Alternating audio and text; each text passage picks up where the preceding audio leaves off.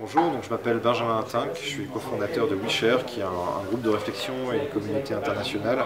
qui étudie l'économie collaborative, l'économie contributive et les modèles horizontaux peer-to-peer.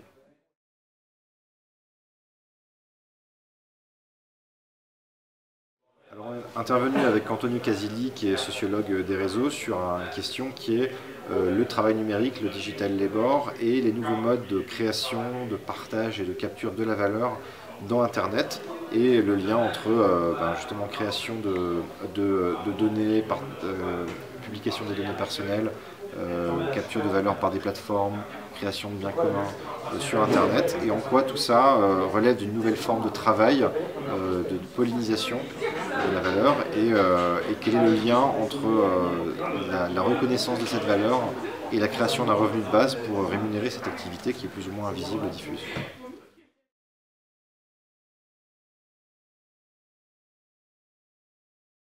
En fait, la, vraie question, c'est qu'aujourd'hui, euh, on crée euh, de manière euh, continue dans notre activité, dans nos échanges sur Internet, on laisse des données personnelles, par exemple, sur, sur Facebook, on fait des recherches sur Google, on utilise tout un tas de services en ligne, mais aussi on crée euh, des biens communs, par exemple en enrichissant des articles sur Wikipédia, en contribuant au logiciel libre, en, participant à tout un projet. Et cette activité, elle est continue, elle se mêle à notre temps de travail, à notre temps de loisir, etc.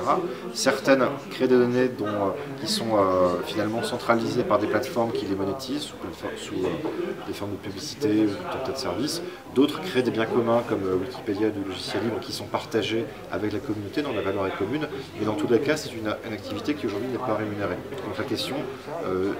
idéologique qu'il y a derrière ce débat, c'est de se dire bah, finalement, est-ce que le revenu de base ne devrait pas euh, euh, en partie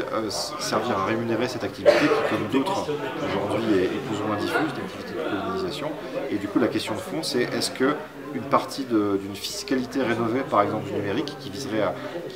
taxer davantage les acteurs du numérique qui capturent des données, ne pourrait pas être un des modes de financement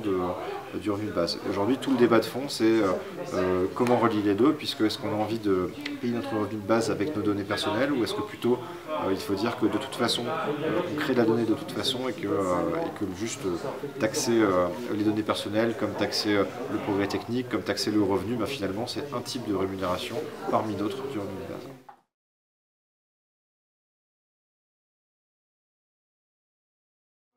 je, m'intéresse beaucoup au sujet du revenu de base depuis 2-3 ans, depuis que j'ai rencontré euh, Stanislas, qui est, un, très bon ami, et je, m'intéresse notamment au lien entre euh, tous ces nouveaux modèles économiques, contributifs, euh, numériques, et, le, justement la, nécessité d'un revenu de base. Donc ce débat en était un exemple. Et là, on a eu un, échange vraiment, vraiment très intéressant, et c'est un sujet qui, peut paraître assez technique, mais j'étais assez impressionné par le, fait que les participants étaient très, très attentifs, il y avait plein de questions et plein d'échanges à la fin sur le, voilà, le, positionnement euh, idéologique de, euh, de, ces questions sur est-ce que c'est une nouvelle forme d'esclavage ou est-ce qu'au final il faut s'y faire, quel est l'impact sur la consommation, etc. Enfin, on a eu plein de points de vue vraiment très intéressants.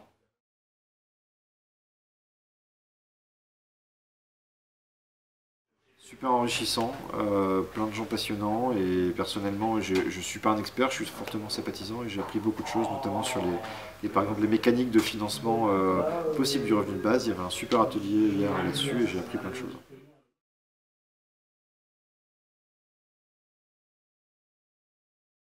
Et eh ben, dernier mot, c'est euh, l'heure du repas et j'ai faim. Et,